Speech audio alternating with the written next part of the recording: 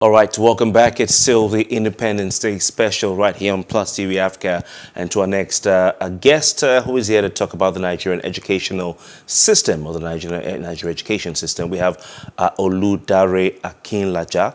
Uh, he's the CEO, uh, OAR&D uh, company transformation strategist as well. Is that a research and development company? Oh, fantastic. And you are in, in the education sector as well? Yes. Fantastic, fantastic. As you sat down in his book, I just knew uh. one. And you, all right, Mercy and I are glad to indeed have you. Um, uh, we'll start with, uh, of course, the president's speech gives us talking points. I know you told me off air that he gave you nothing to talk about, but um, he says that he's pained you know, when he looks at, he thinks about the ASUU strike, yeah. you know, it, it, it, causes him pain. Um, what are your thoughts on the president's feelings? And I know he said this something similar when he met with stakeholders in the education sector. You know, he said he's, he's not happy about it. But I'll just go to paragraph 25 of his speech, where he said, I must confess, I must confess that I am very pained by the recurring disruption to our tertiary education system. And I'm using this Independence Day celebration to reiterate my call for the striking academic staff union of universities to return to the classroom while assuring them to deal with their contending issues within the limits of the scarce resources available, uh, he says. Uh, that's number one. So uh, he also went on to say that, that, his administration has made appreciable progress mm. in redressing the, the issues of ASUU mm. uh, that have been lingering over 11 years. Yeah. You know, um, but if you look at, look at the agreements from 2009 mm. and the renegotiated agreement of 2019, mm. uh, the federal government has not paid uh, any money as far as revitalization is concerned. Yeah. Of the 1.3 trillion naira, they've only uh, paid 200 billion naira. That was uh, back in, I think, before, during the time of Jonathan. Yeah. So if he says that they've made a, appreciable progress, what does that mean? Okay, so um, I think the president understands what he meant by. Is, is, is, is, it, is it disconnected, do you feel? I, I don't think he's disconnected. Um, I think um, he, he his disposition seems to be sort yourself out. Um, there, are, there, are bigger, there are bigger things I'm, I'm concerned about in some sort. Um, I, I, I, don't think they're taking uh, the educational problem seriously. I, am not sure they are concerned about it. Uh, okay, uh, because if you find how much money moves to other sectors, maybe security, um, infrastructure, and the rest, it, it just shows you where I think they are paying attention to okay? Um, but in these other areas, they're like, oh, it's ASUU. We, will find a way to deal with, with it, okay? Oh, no, it's education. We can always patch it around. So I think it's just the commitment of the government with regards to education. I'm not sure they see it as a crisis yet. That, that's because, I mean, some of the things they're asking for, for instance, visitation panel, there's been no visitation panel over 10 years, or almost 10 years, to any federal university from the federal government even going to see what's going on there. And um, so he says, he, so you're saying that you don't feel he's sincere in what he's saying, that if he feels pain and that they've even made progress you don't feel he's sincere at all. So if you, you know, certain statements are political, some statements are just thrown out there. But if you want to do a critical analysis, I run a research and development company. So if you want to deal with the on-the-ground data, you can see that there's crisis in that sector. Okay. Now, sometimes I, when I speak on issues like this, I always like to draw a balance. I, I, I hope at some point we'll also get to the responsibility on the university angle. okay. But for now, we're talking about government. okay. What is government's responsibility? Government needs to show more commitment to this system. We're already stretched as a country with regards how we are designed. That's another discussion for another day. How, no, but, yeah. but I think that we can actually start from there because I, I'm wondering if we look at the system, and it's a good thing that we're 62 today. Yeah. It just gives us us the opportunity to go back to the drawing board and yeah. look at where we have come from, yeah. what exactly we're doing right and what we're not doing right and where we can get it right. And yeah. so um, we know that the, the, you know, the structure that we're practicing, the educational system, uh, the 6334 formula, do you think that's what the problem is? Or the problem is with funding?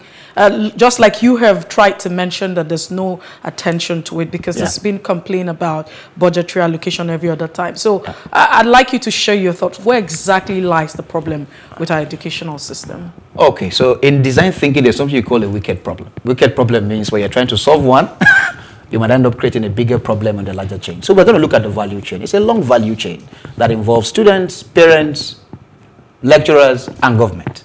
Okay, so picking one person isolated as the major problem will dampen the effect of the other people. So for, take for instance, what's the quality of learning to start with? How much can government really do to optimize the quality of learning in schools? How much investment can government really give? How can government monitor that the money given is spent on the things that we say we want to spend the money on, for instance? Okay, so it's a full value chain. So one of the things I think we need to Uh, redesign is, and we quickly compare ourselves to international countries. You hear say, oh, go to the UK, their education system is great. How much of those schools in the UK do government still fund, for instance? But if you try that in Nigeria, maybe University of Lagos will be paying 750,000 naira school fees. or maybe 1 million naira per semester. How many people can afford that?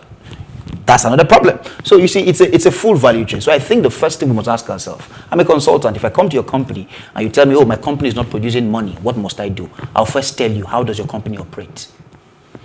Are you making sales with the way you are operating? No, we are not making so much money. So what do we do? We unbundle, we redesign. Government can no longer fund. What can we do from inside?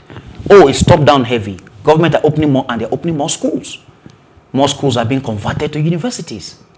We are not funding what is on ground. We are converting schools to universities. You are taking a teacher college, you are converting to university. okay? So the question is the way we are designed is too top-down heavy. Government cannot manage everything. So we need to start redesigning from there and saying the way we are structured, can it really work? So what, what should the proper structure be? So this are things people don't like to hear. but the schools have to find a way to begin to raise fund. Okay?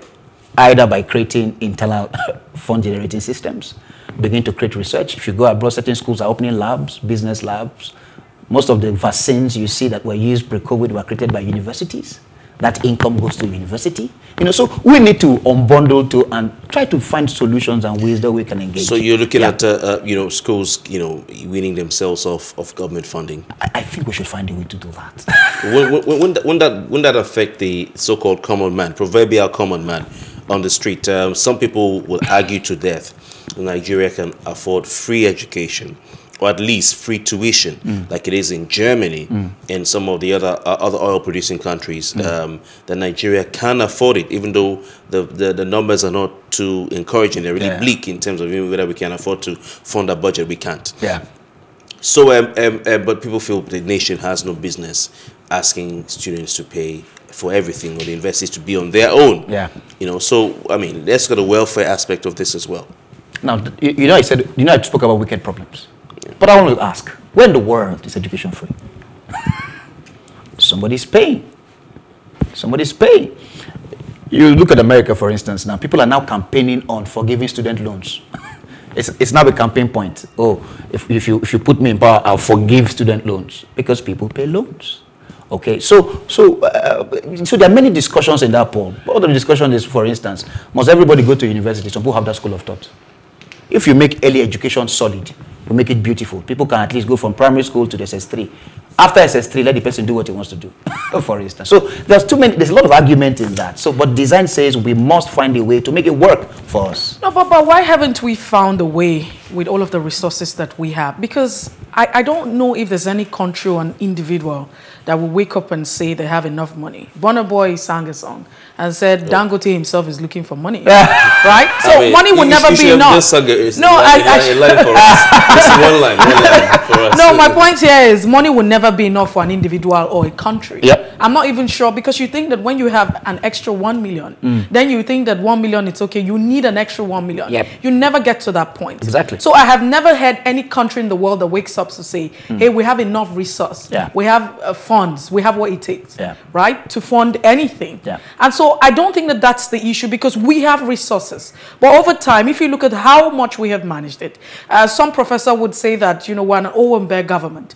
Uh, Owambe, you know the system already. You throw in money, you chunk it But it's a party kind of government. look at how much we're spending. I mean, look at the cost of running government. Every time our budget, how much we allocate, you know, to the, uh, you know, the expenditure. You talk about the capital project and the recurrent, uh, you know, expenditure. So it's a thing. I think that if you are saying that privatization at 62 should be the solution to education sector, it would therefore widen the gap between the rich and the poor over time. And that's what it would be. We're even only talking about the tertiary institution. We're not also looking at, you know, the secondary and the primary school. That's also a big issue. Why is it that at this point in time, Nigeria, as a giant of Africa, we can't even say there's a free education across board for the entire, I mean, we're talking about from primary to secondary level. Let's even achieve that, first of all. And then we begin to think about, okay, tertiary, what's important to go to so a higher institution. So let me give you an example. Are you aware that your primary schools are being monitored in Lagos, for instance, by the local. I mean, that's one. That's one. That's one state out of how many states we have no, in Nigeria? No, I'm, I'm just trying to say that. You, are you aware that your primary school in Lagos is being managed by local government? I'm just trying to explain to you the power of a design. Now, if primary schools are being managed by local governments, who say that they don't have access to their own funds? What funds are they using to develop the local the primary school? So this is my concept. This is my this is why I talk about design a lot. If you give somebody four billion naira in a poorly structured system, you will not be able to account for how the financial flow takes place. Because we are blaming one side of the system, we need to look at it across the value chain. The stakeholders across the value chain must come together and ask themselves, how do we want this thing to be structured? Okay? Go around Lagos and look at your primary schools, or go around Ogun State or your state. Look at the state of the primary schools. Those primary schools are constitutionally meant to be run by local governments. Our question would be so what, what, what finances do local governments have to use to run the primary school? So I'm not blaming and saying provision is the only way. I'm just I'm trying to emphasize the power of design. We must look at how we are designed and ask ourselves, the way we are designed, are we able to drive quality education with the way we are designed? All right. Um, uh, I want us to look at the um, uh, the, the, this, the, the content yeah. of our curriculum because we, that's very important that's as well. you know, Mercy asked if we're, you know, 6334 has never worked. You know, it's in the country, it's not even worked at all. Mm. I remember one of my um, my uncles who had, uh, you know, to import some, or who was, was to install some equipment that they in, imported. The thing was left to rot under the sun for years and it all went bad. You know, but, but look, let's look at the content and the curriculum and the, uh, the emphasis on, on, on a degree. Um, in some countries, like in the German system, where you have what you call the Ausbildung, which is a sort of a vocational training yeah. arrangement where you can leave your high school and go get trained in a skill. And while you're being trained in that skill, the government will give you a stipend. You get paid, be it carpentry, be it welding, be it uh, tailoring, be it nursing, whatever you want to do, and then they uh, encourage companies to employ. Mm. Um, we everybody wants to have a degree in this country, and you and I know that um, not be everybody where they university uh, speak English. You yeah. know, some people can't even express themselves in the university. Yeah, why is that? And so, what's this? And you talked about some state-owned you know, polytechnics, you know, government institutions, teacher training colleges are being converted to universities, universities. so so the governor can look good. It's you a know, behavioral thing, by the way. You know, so so yeah. what's what, where did we get it wrong in terms of our penchant for having a degree that isn't really producing skilled people?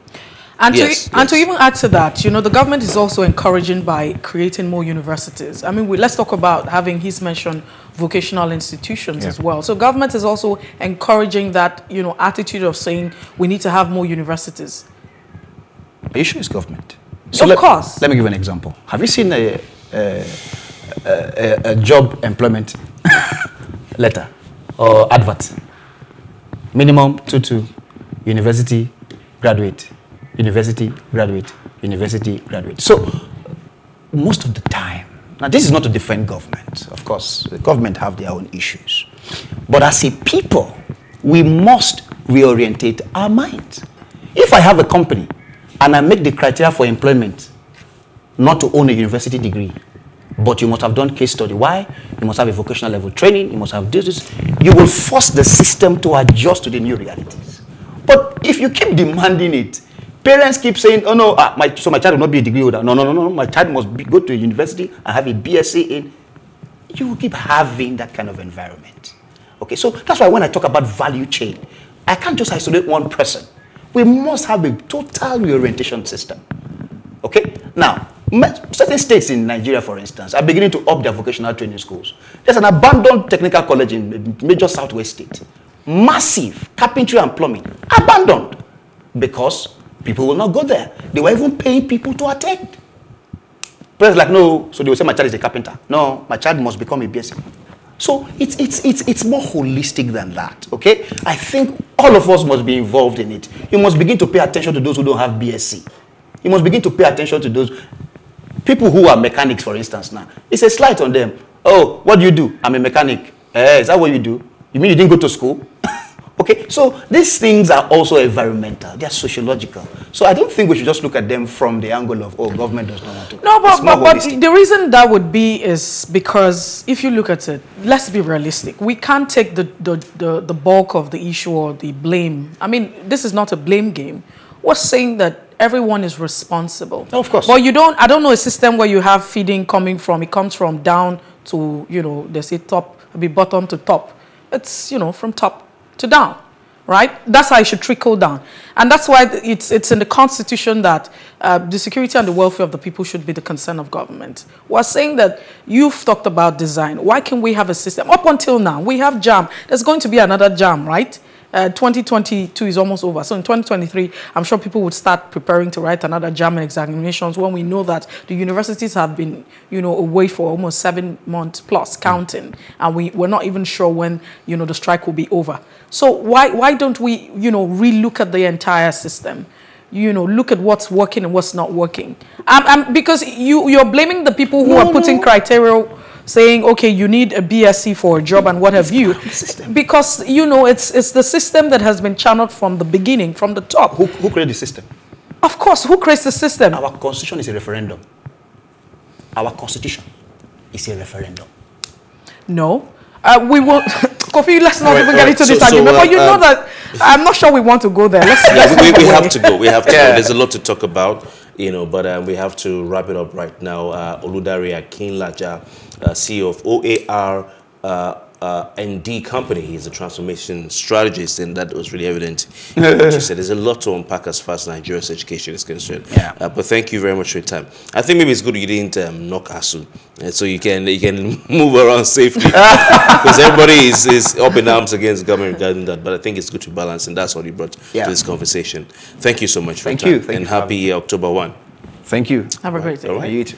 Right, up next we have more. Uh, right now, of course, um, we'll take a break and uh, we have something special to play for you in between. And when we return uh, from our break, we'll be having a discussion on the uh, political and um, uh, elections in Nigeria, looking at the forthcoming elections and politics with our guest, Femi Dagunro. Joe Femi Dagunro will be back with us. Please stay.